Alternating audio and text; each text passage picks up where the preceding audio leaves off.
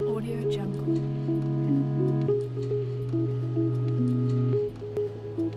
We are so humbled to have the governor of the great state of Oregon here with us today to talk to us about leadership and the value of diversity, especially during Women's History Month. It's critically important that we have diverse voices at the leadership table.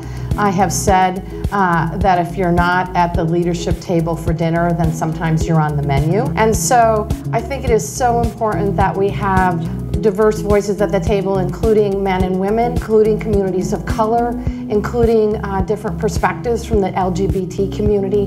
The public policy that we make when we have the diversity of voices at the table is just better. It is more resilient, it stands the length of time, and it's more reflective of our communities. And so I'm committed to making sure my administration reflects the uh, changing faces of the state of Oregon, and I think it's really important uh, that we do that at the state workforce level as well.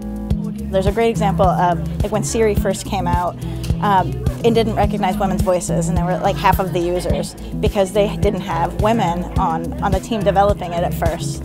And so when you miss out on the diversity of any kind of people, then you miss out on so many of the people that you can reach. There are only four female governors um, currently.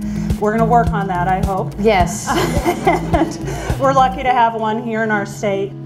And I would say that it has been a challenge for voters to see women in executive roles as mayors, as governors, and of course as president.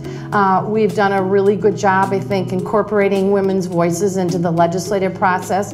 Nobody thinks it's unusual now to have women legislators, but still we have folks who think it's unusual for us for us to have women governors. So we need to change that.